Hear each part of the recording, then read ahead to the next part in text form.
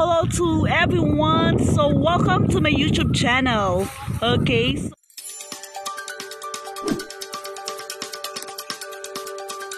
Okay, so I like to show it to you how Filipinos help one another when they fix the rice grain that is dried up in this area. Okay, so everybody works together. So I just like you to witness how they do it.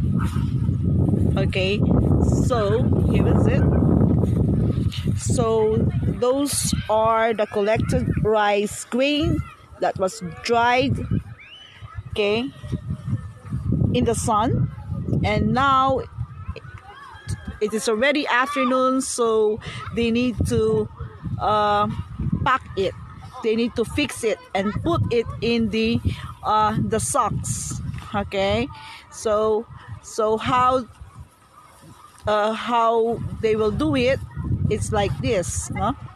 so you can see and witness it that this is uh, the rice grain they need to fix it and the sock and those are the sock of the rice grain hello? So those uh, they are filipino people. Yeah. So that's it. Um so it took time to do it but um they're happy no? Even they spend a lot of time watching the watch the dried green, it's all right because they have food to eat later. Okay? So it's so hot very hot right now because it's summer in the Philippines. So but they enjoy. Filipino enjoy what they're doing no? They love what they're doing. So that's it okay. So time to pack and then time to fix. Put in the sock. Okay. So here is it. How they do it.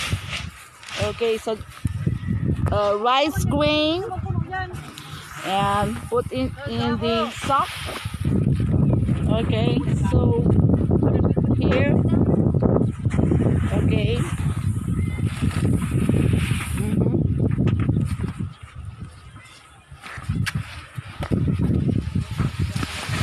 It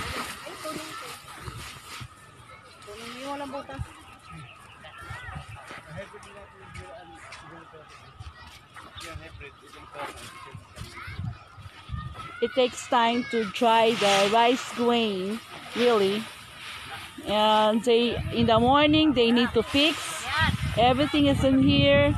All in the sock should be all the uh, rice grain the sock should be right the sun okay? It's in the morning and in the afternoon then that's the time for them to fix. Okay so that's it. And this is a still rice grain. Okay? The farmland. Okay? So how they do do it it's like this. Mm -hmm.